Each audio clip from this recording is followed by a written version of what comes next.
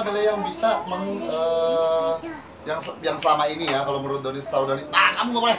Itu tuh bahwa dia balik lagi pasti akan balik lagi ke istri pertama karena jadi balik-balik ya istri pertama lagi nanti. Ya, jadi mendingan "Oh, udahlah capek-capekin sendiri gitu. Tapi sepanjang pernikahannya Mas Doni sama Yuni sendiri pernah nggak sih ter- terlintas keinginan untuk eh, selingkuh, punya anak, ah, punya cewek lain atau punya istri lain gitu Mas Doni? Wah, satu aja susah, satu, satu aja nggak habis-habis gimana mau yang lain?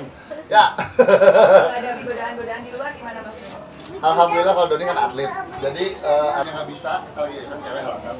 Ya larinya ke olahraga. Kalau olahraga selesai olahraga terus sauna sih powerful selesai capek udah bisa tidur. Ya udah itu aja jadi nggak perlu harus yang wah jajan itu membahaya. jadi kalau kalau kita di luar di luar rumah itu tanggung jawabnya kan eh, terhadap diri sendiri dan yang di atas gitu kan. Kalau kita nggak percaya karena kalau istri nggak percaya berarti itu doa untuk suami katanya gitu. Jadi ya kita harus percaya. Mas Doni apa karena orangnya apa? Justru yang paling takut adalah tanggung jawab kepada di atas. Karena apa? Selama ini kalau kalau orang di suatu hal yang masalah sama yang tanggung jawab yang di atas. Maaf Mas Doni, Mas Doni sebegitu Nah, nah, nah, nah, nah, nah. Ya, pahamnya dengan masalah poligami ini, apa tidak takut besok akan kemakan dengan ucapan Mas Doni sendiri? Ya, kita lihat aja, insya Allah enggak. Oke, kita yuk. lihat aja. Tapi dia sebagai seorang guru menyarankannya yang bagusnya seperti ini, bagusnya seperti ini. Dan dilihat ya hasilnya bagus, alhamdulillah. Tapi pernah enggak sih Mas Doni merasa jenuh dalam pernikahan Mas Doni yang udah sebegini panjang ya? Justru kita sering nakal ya. eh percikan-percikan nakal deh asik nih. Kalau kadang-kadang sama dia, sama Yuni. No, no, no, no. Kadang-kadang sama Yuni, sayang kita bandel yuk berdua. Ya, kalau bandel berdua pergi aja berdua ke mana. Nah itu kan yang itu percikan-percikan kayak gitu yang jangan jangan dibuat susah kalau kata dokter Boyke. Kalau hubungan suami istri kadang-kadang membosankan kita buat sesuatu yang fun, yang seru. Nah, itu aja. Ya, ya. Tapi intinya pernah bosen nggak? Enggak. Enggak. Belum kamu udah pernah bosan? bosan bosan bukan berarti ah, bosan ganti pasangan gitu mungkin jenuh dengan rutinitas gitu kan ya kalau Ah, no. mungkin kalau kalau udah jenuh rutinitas biasanya kita ngomong aduh aku udah ini nih bete nih di rumah uh. ini nih kita sekali-kali kita pergi berdua Nah, gitu biasanya seminggu kita pergi berdua mau suka-suka kita lah kayak eh, kayak Iya, iya, iya, iya, pacaran iya. gitu aja Oke. Ya. Makasih Mas Doni. Sama-sama, makasih. Udah ya. Ya, nanti rusak ininya tidak boleh ya. oh, paling kalau mau uh, siang uh, so- sore sore ke malam. Di atas jam 2 lah. Jadi bisa eh, mungkin aku terus yang tadi Hah? untuk. Hmm? Eh, sebentar dulu saya sebentar dulu ambilin mama es krim Please, ini, please, please. Ya, halo. Terus? Mas Doni, eh, Mas Doni kan bisa melihat dari eh, ada beberapa artis yang masih pesan masalah tentang tentang poligami dan ada perempuan lain. Hmm. Mas Doni sendiri kan sempat pernah kemarin hampir tersandung masalah itu. Mas Doni sendiri melihat gimana Mas? Kalau saya kan emang di, di, direkayasa. Oh salah ya. ya udah gini. Kalau ngelihatnya sih gini ya pasti dari mereka ini aja lah kalau emang mau mem- membuat sesuatu yang hal seperti kayak gitu pikir-pikir lagi lah. Ke depannya tuh kayak apa? Untungnya juga kayak apa? Nggak ada untungnya rugi malah yang ada sih kalau Doni bilang. Rugi banget banyak ruginya daripada untungnya. Untungnya paling apa sih? Nggak ada kalau Doni bilang sih. Seperti apa sih eh, ruginya tuh bisa dijabarin? nggak tahu ya ruginya banyak lah jadi saya nggak nggak pernah kayak gitu sih nggak tahu jadi ya kalau rugi mungkin apa ya dari segi waktu dari segi biaya juga kali uangnya banyakin untuk membiayai.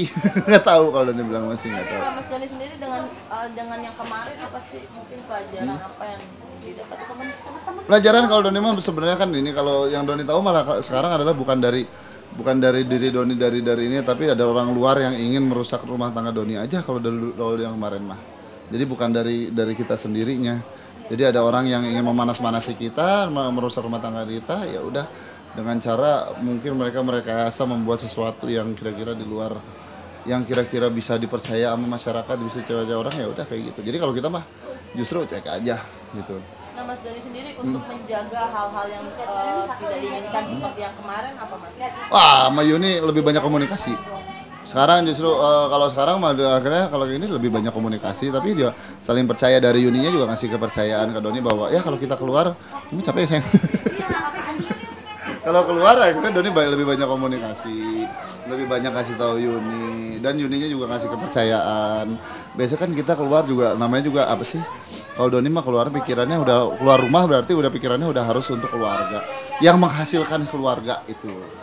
Mbak Yuni sendiri eh, apa Mbak? Em, mungkin nggak sih eh, artinya ada satu komitmen em, dengan Mas Doni gitu untuk di- eh, jangan sampai terulang lagi yang kemarin. Komitmen secara apa ngucapin gitu. Enggak tapi kita harus komitmennya dua hati gitu. Kita harus ini perkawinan ini adalah komitmen berdua untuk dibawa sampai sampai nanti sampai selesainya gitu gitu. Jadi komitmennya keluarga itu nomor satu gitu. Kalau dari dari keluarga kita karena kita ini kan eh, suami kan nahkoda istrinya kan seperti eh, tangan kanannya langsung semuanya ada di kita dan penumpangnya itu kan anak-anak. Jadi kalau sesuatu terjadi sama kita anak-anak pasti akan pengaruh gitu. Jadi jangan sampai pengaruhnya jadi negatif ke anak-anak. Tapi eh, Mbak Yuni sendiri agak sedikit protek nggak sih dengan dengan eh, semua kegiatan yang dilakukan oleh Mas Doni? Eh, enggak sih karena eh, lagu Ya, kakak karena dari dari dari sifat dasarnya Yuni memang nggak nggak mau yang terlalu overprotective gitu. Eh, kan masing-masing kan kita udah berkeluarga, kita punya tanggung jawab terhadap keluarga gitu. Jadi kelu- keluar itu ya udah ha- harus tahu jalurnya masing-masing.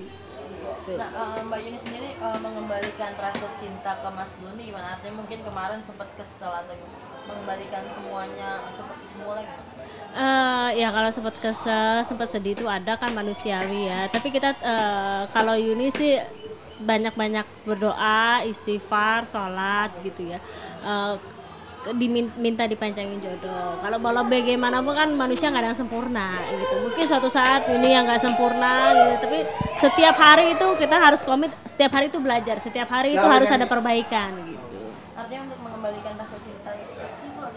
Eh, iya, kita juga cinta itu kan sekarang kalau udah berkeluarga itu kan cinta itu satu paket gitu. Jadi kita harus selalu sering-sering lihat anak-anak gitu. Apalagi kalau mereka lagi tidur gitu. Aduh, jangan sampai ada sesuatu kejadian di kita anak-anak yang jadi korban. Itu aja untuk kembaliin cinta gitu.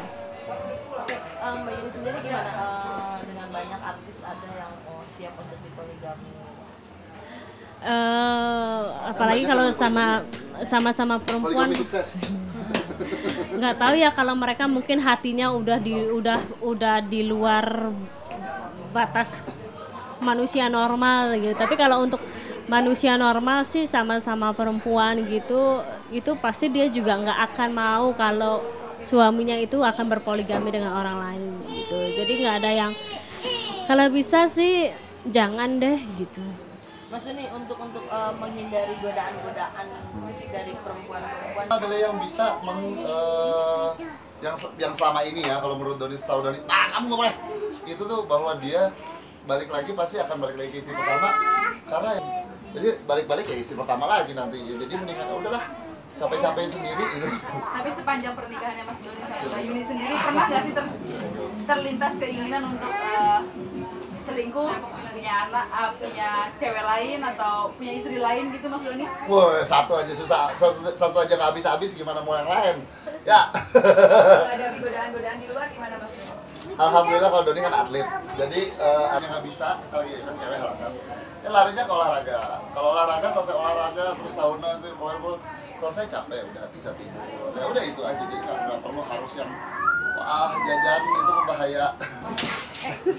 jadi kalau kalau kita kalau di luar di luar rumah itu tanggung jawabnya kan eh, terhadap diri sendiri dan yang di atas gitu kan kalau kita nggak percaya karena kalau istri nggak percaya berarti itu suami katanya gitu jadi ya kita harus percaya Mas Doni apa karena orangnya apa justru yang paling takut adalah tanggung jawab kepada di atas karena apa selama ini kalau kalau orang eh, di Indonesia suatu hal yang masalah sama yang tanggung jawab yang di atas Maaf Mas Doni, Mas Doni sebegitu nah, nah, nah, nah, nah, nah, tidak Ya, pahamnya dengan masalah poligami ini apa tidak takut besok akan kemakan dengan ucapan Mas Doni sendiri? ya kita lihat aja, insya Allah enggak. Oke, yuk. kita lihat aja. Tapi dia sebagai seorang guru menyarankannya yang bagusnya seperti ini, bagusnya seperti ini. Dan melihat ya hasilnya bagus, alhamdulillah. Tapi pernah nggak si Mas Doni merasa jenuh dalam pernikahan Mas Doni yang udah sebegini panjang ya? Justru kita sering nakal ya.